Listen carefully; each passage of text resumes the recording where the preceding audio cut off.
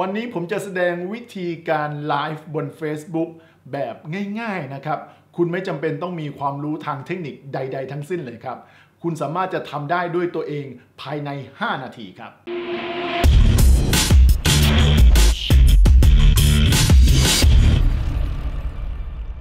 สวัสดีครับ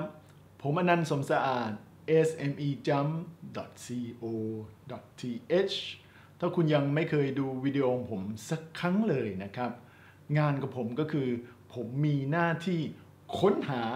ทุกวิถีทางที่จะทำให้คุณคุณประสบความสำเร็จบนโลกออนไลน์ครับ วันนี้มาเป็นคลิปพิเศษนะครับ ผมเพิ่งไปทดลองมาวิธีการทำ Facebook Live นะครับ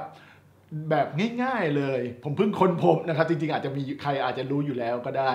ปกติแล้วผมไม่เคยไลฟ์ครับ ผมทำใจไม่ได้กลัวไม่มีคนดูครับ เลยทำแต่วิดีโอลงบน YouTube หรือก็บน Facebook เสร็จแล้วเนี่ยพอมาถึงเวลาเนี่ยสถานการณ์ทำให้เราคนอยู่บ้านเยอะๆ ผมก็พยายามจะเรียนรู้วิธีใหม่ๆ ก็เลยลองไปเปิดใน Facebook ดู อ้าว ปรากฏว่าสามารถทำ Facebook Live ได้แบบง่ายๆ เลย ไม่ต้องมีความรู้เทคนิคใดๆทั้งสิ้น ถ้าคุณเคยได้ยินคำว่า OBS นะครับ เป็นซอฟต์แวร์สำหรับช่วยไลฟ์เนี่ย เราไม่ต้องไปเรียนรู้แล้วนะครับ คุณเข้าไปในหน้าแฟนเพจของ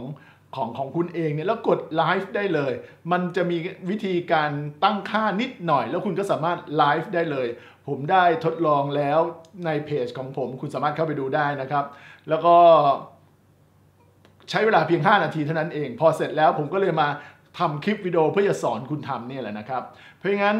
เดี๋ยวเราจะไปดูกันแต่สิ่งที่ผมจะทำเนี่ยเป็นการไลฟ์ในคอมพิวเตอร์นะครับไม่ใช่ในมือถือ ซึ่งผมคิดว่าในงานของผมเนี่ยไลฟ์ในคอมพิวเตอร์มันเหมาะสำหรับผม เพราะว่าผมสามารถที่จะแสดงภาพ share screen อะไรได้ด้วยนะครับ เดี๋ยวผมจะแสดงวิธีทำบนคอมพิวเตอร์ให้คุณดูครับ แต่ก่อนอื่นเรามาต้องมาดูก่อนว่าอุปกรณ์ที่ใช้มีอะไรบ้าง เดี๋ยวผมแสดงอุปกรณ์ให้คุณดูก่อน เดี๋ยวผมเอากล้องไปถ่ายในหน้า หน้าอุปกรณ์ให้คุณเห็นนะครับ เดี๋ยวไปกันครับ ตอนนี้เรามาดูอุปกรณ์ที่ผมใช้ก่อนนะครับ หลักๆแล้วมี 2 อย่างคือพีคอมพิวเตอร์เป็น 3 อย่างแล้วกันนะ คอมพิวเตอร์แน่นอนคุณต้องมีอยู่แล้ว อันต่อไปคือไมโครโฟนนะครับไมโครโฟนที่ผมใช้มันเป็น dynamic microphone คุณอาจจะซื้อไมโครโฟนแบบอื่นก็ได้ที่สามารถเสียบเป็น USB เข้าหลังเครื่องคอมพิวเตอร์ได้เลยนะครับ ผมเป็นไดนามิกผมเลยก็ต้องมี ตัวนี้ด้วยเพื่อจะแปลงเป็น USB นะครับ อีกตัวหนึ่งคือเว็บแคมเว็บแคมผมอยู่ตรงนี้ เว็บแคมมีหลายแบบนะครับ ผมมีทั้งแบบอะตัวที่ผมแนะนำแล้วก็ราคาไม่แพงเป็น Logitech นะครับ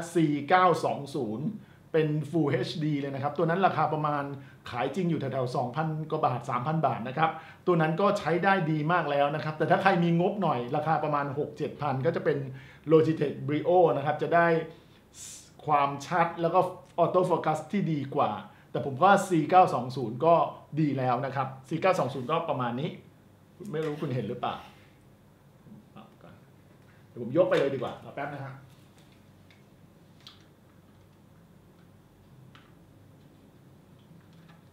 นะครับ ตัวนี้นะครับ C92 นี่นี่คือเดี๋ยวผมดูก่อน Logitech เพื่อนมันมืดไปหน่อยนะครับ นี่คือ Brio แล้วนี่ผมมีจริงๆ ผมมี 2 ตัว ผมเอาแสงมาไม่พอนะ คุณอาจจะมองไม่เห็น นี่เป็น Logitech นะครับ แล้วผมก็มีไมโครโฟน ผมใช้ Rode ไมโครโฟน Mixer แล้วนี่ผมมี USB ที่จะแปลงเป็น USB นะครับ งั้นอุปกรณ์มีประมาณนี้ แค่ไมโครโฟน แล้วก็มีเว็บแคม คุณต่อเข้าคอมพิวเตอร์ให้ได้ ถ้าเป็นแบบ USB ก็ไม่มีปัญหาอะไรเลย เสียบเข้าคอมพิวเตอร์ คอมพิวเตอร์ก็ detect ได้เลย แล้วหลังจากนั้นคุณก็ค่อยเข้าไปใน Facebook เพื่อจะตั้งค่านะครับ เดี๋ยวผมแสดงวิธีตั้งค่าให้คุณดูครับ เริ่มแรกนะครับให้คุณเข้ามาที่หน้า Facebook Fanpage ของคุณนะครับ เมื่อเข้ามาแล้วเนี่ยเห็นปุ่ม Live นะครับ ให้กดไปที่ Live เลยนะครับ พอกดที่ Live แล้วเนี่ย พอเข้ามาหน้านี้นะครับ ก็คุณจะเห็นว่าทางมุมขวาล่างจะเห็นว่า waiting for live นะครับ for video live แล้วก็คุณสามารถที่จะเลือกสมมติคุณมีหลายเพจเนี่ย คุณก็เลือก เพจที่คุณต้องการที่จะ manage หรือคุณสามารถจะถ้าคุณต้องการจะใช้ Facebook ส่วนตัวก็ไปที่ your timeline ก็ได้ ตอนนี้ผมจะไปที่เพจที่เรา manage นะถ้ามีหลายเพจคุณก็เลือกเพจที่เรา manage คุณสามารถที่จะใส่ข้อความอะไรก็ได้นะครับ ลงไปเพื่อจะอยู่มันจะไปแสดงอยู่บนไลฟ์เลยนะครับ ทดสอบการไลฟ์นะครับ อะไรแบบนี้นะครับ แล้วก็สิ่งที่คุณต้องทำเอาแบบง่ายๆนะครับ ตัวอื่นไม่ต้องเลือกเลย คุณเลือกตรงนี้ครับ คุณต้องมีเว็บแคมกล้องเว็บแคมก่อนติดอยู่ข้างหน้า แล้วก็มีมีไมโครโฟนนะครับ ผมเลือกแคมราตัวนี้เข้าไป พอคุณเลือกกล้องที่เป็นแคมราแล้วนะครับ ก็จริงๆจะมี setup เพิ่มเติมถ้าคุณมีหลายกล้องนะ ผมก็เลือกกล้องของผม ก็ยี่ห้อกล้องแล้วก็ผมมีมีไมโครโฟน ผมก็เลือกไมโครโฟนของผม ถ้าคุณเป็นไมโครโฟนที่ติดมากับเครื่องคุณก็ลองเลือกดูนะครับ เท่านี้เอง เท่านี้ก็เป็นอันว่าเสร็จแล้ว หลังจากนั้นก็คือคุณสามารถกด go live ด้านซ้ายล่างนี้นะครับ ก็คือ go live ก็สามารถไลฟ์ได้เลย แล้วเวลาคุณดูไลฟ์เนี่ย คุณก็เข้าไปที่ URL ตัวนี้ คุณก็สามารถจะดูไลฟ์ของคุณได้แล้วนะครับก็ก็เท่านี้เดี๋ยวเดี๋ยวผม เดี๋ยวหรือจริง ๆ คุณสามารถตั้งตารางเวลาได้ด้วยผมลิงบอก ว่าตัวนี้มันง่ายมากเลย และในระหว่างไลฟ์เนี่ยคุณสามารถจะดูมันจะมีข้อมูลของการไลฟ์ให้คุณเห็นนะครับ คุณสามารถที่จะทำเป็นคล้ายๆ ตอบคำถามเป็นโพถาม หรือมี question คุณสามารถจะสอบถามได้ตั้งคำถามได้เพื่อจะถามถามคนที่ฟังไลฟ์ของคุณนะครับ เช่นได้ยินเสียงไหมยินเสียงของผมไหมอย่างเงี้ยครับ คุณก็เซฟมันก็จะเป็น เป็นคำถามที่จะไปโผล่ในไลฟ์นะครับแล้วก็ตัวที่เจ๋งอีกอย่างหนึ่งก็คือคุณสามารถทำสกรีนแชร์ได้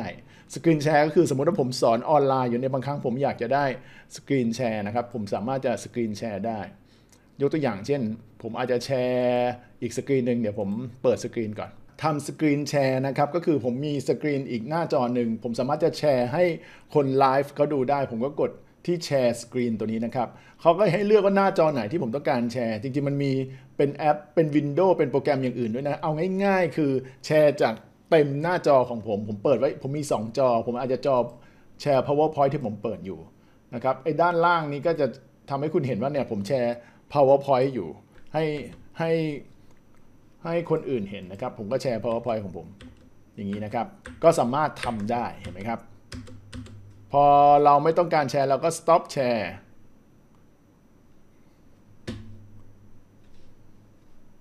พอ stop share ปึ้ง stop sharing ก็จะ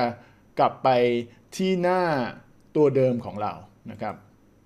ก็จะกลับไปที่หน้าตัวเดิมของเรา แล้วหลังจากอันนี้ก็คือวิธีทำแล้วคุณก็สามารถเวลาคุณไลฟ์คุณกดไลฟ์ได้เลยเพื่อนผมไม่ไม่ได้กดไลฟ์ตอนนี้นี่ผมแค่อัดหน้าจอเพื่อให้คุณเห็นก่อน เพราะฉะนั้นมันไม่ยากเลยนะครับ ก็มีประมาณนี้ เดี๋ยวก็คุณลองไปทำดูแล้วลองผิดลองถูกดูครับ คุณอาจจะต้องเปิดคอมพิวเตอร์อีกเครื่องหนึ่งหรือมือถือเอาไว้แล้วลองดูผลลัพธ์ว่าภาพมันเป็นยังไงเสียงมันเป็นยังไง หรือคุณอาจจะต้องถาม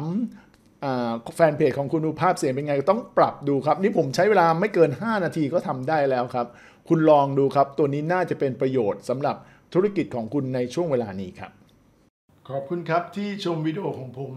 หวังว่าวิดีโอตัวนี้จะช่วยคุณทำ Facebook Live แบบง่ายๆนะครับ ซึ่งผมคิดว่าวิธีนี้เหมาะสำหรับคนที่ไม่มีความรู้พื้นฐานทางด้านเทคนิคนะครับ ไม่อยากจะไปเรียนรู้ OBS ซึ่งซึ่งมีความซับซ้อนอยู่นิดหน่อยนะครับ ก็ใช้ตัวนี้ได้เลย ผมคิดว่ามันใช้ได้ดีพอสมควร ถ้าคุณต้องการชมเรื่องต่างๆ เกี่ยวกับการตลาดออนไลน์นะครับคุณสามารถกดปุ่ม subscribe ปุ่มติดตามด้านล่างของวิดีโอ YouTube ได้เลยนะครับ หรือคุณเข้าไปที่ Facebook Fanpage ของ SME Jump แล้วกดไลค์เลยครับ ผมจะส่งวิดีโอไปให้คุณดูทุกๆอาทิตย์ครับ ผมอนันต์สมสะอาด smejump.co.th แล้วพบกันใหม่ครับ